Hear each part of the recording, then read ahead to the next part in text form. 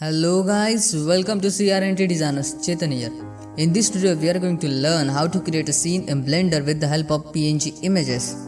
To make a such kind of scene we need to enable image export as a plane this add-on in Blender.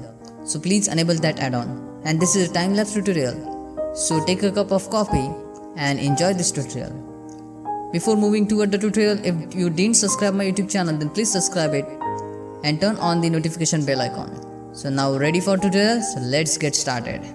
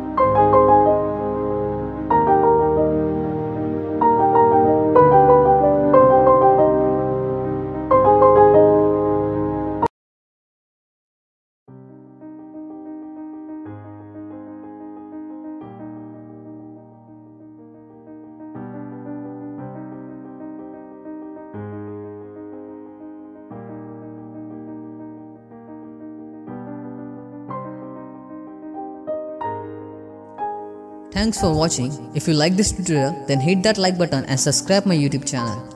Bye bye. See you in the next video.